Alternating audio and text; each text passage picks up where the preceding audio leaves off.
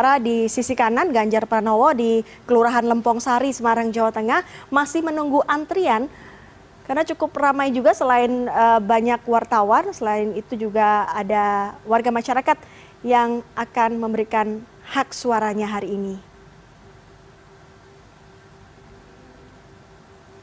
Baik, ini dia Ganjar Pranowo ternyata sudah melakukan pencoblosan di sana.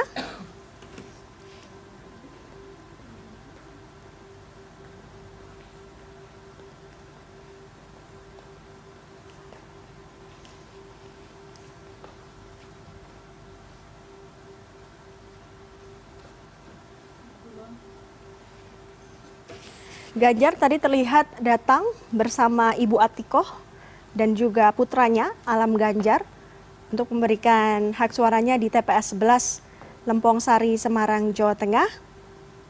Ganjar Pranowo sendiri didukung oleh PDI Perjuangan, P3, Perindo, dan juga Hanura dalam mengarungi kompetisi di pemilu presiden 2024.